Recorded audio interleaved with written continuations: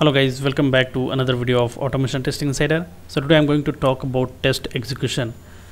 So as part of testing lifecycle we have covered so far requirement analysis test planning test design test execution. So so far we have covered till test design. Now today we are going to talk about test execution. Later on we'll discuss about defect reporting and test closure so these are the different stages in software testing lifecycle so so so far we have requirement analysis test planning test design where we have written the test cases. So if you haven't watched those videos guys please go and watch those videos first and come back to test execution. So once our test cases are ready and once environment uh, is set up and uh, build is ready for testing so what developer does is once develop uh, development is done for any particular product so they will release the software to the testing team for execution purpose. And then we'll execute our test cases as part of test execution process.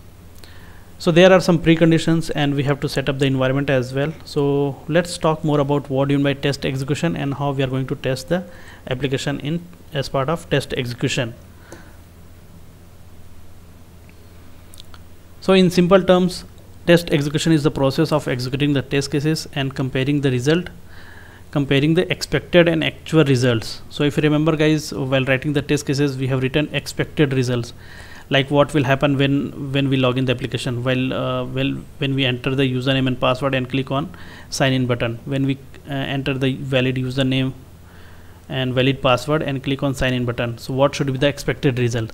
So we should see the uh, home page right? So that is expected result.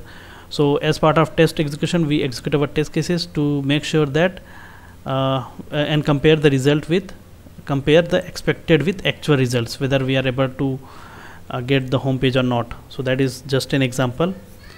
So that is nothing but the execution. So we'll execute the test cases once we get the build from the developer.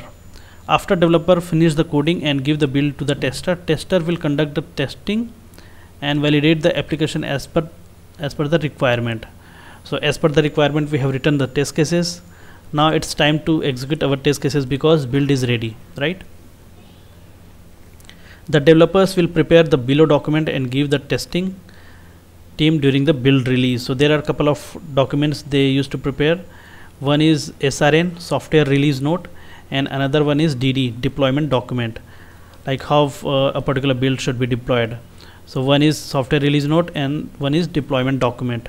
Software release note is nothing but uh, they will give the version and the build name uh, and the product name all these details related to the particular software they will put in srn document and deployment instruction in deployment document. Tester deploy the build in test environment as per the instruction in the release document note the build is deployed in test environment either by tester or developer. So build is deployed either by developer oh sorry tester developer or by network team. So once we get the software from development team guys so they will send the build and uh, a tester either tester developer or network team will deploy the build in, in, on particular server I have already spoken about what you mean by build and release so probably you can watch that video. Uh, I'll provide the link in the description box of this video so that you can understand better. So as we know that after build release uh, the first test should be performed is sanity testing right? After sanity test is passed we will continue test execution and validate all other functionalities. So sanity test you will check like whether uh, this build is capable enough of further testing or not so that is the purpose of sanity testing. So once sanity testing is passed then we go for the further testing. Test execution can be done either manual or automation. Testing performed by either uh, by testing performed by tester without using any tool is called manual testing. And when we use any automation tool that is automation testing. During execution validate all the test cases and specify actual result and status. So i have already shown you in the test case document we have expected result and actual result and we have status column.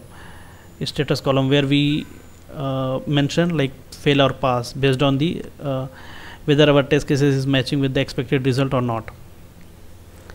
If the status is failed we can report that as defect to the developer. Okay guys so we'll we have uh, we are going to use the defect report template or any uh, defect tool as well. So there we report our defect. If it is not matching with the expected result so we'll report the defect to the developer. So let's talk about what is software release note so a release note refers to the technical documentation produced and distributed alongside the launch of new software product or product update. So they will uh, give the release note so generally we use the release note when we deploy the software in, into the production so we'll give the release note.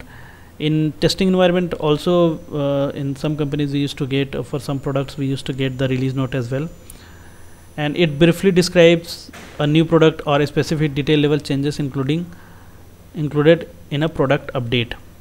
So whether it is a new product or uh, any changes in the product. So it describes in the form of release note a software release note template is simple document that companies use to document any changes to their product. Elements of release notes template are like build version. So this is what we I have discussed. Build version build location requirement in the build precondition environment deployment steps known issues defect files prepared by or uh, prepare who is going to prepare that release note. So these are the some of the fields which we uh, which are there in the release notes.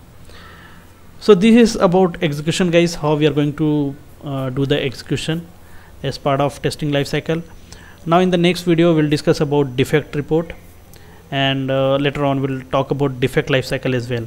So once we uh, get any defect so we'll talk about the defect report how we are going to report the defect. What is the format of the defect report and uh, uh, yeah what are the different fields which we need to mention as part of defect report. So this is all about today guys. Thank you for watching. Have a nice day. Bye bye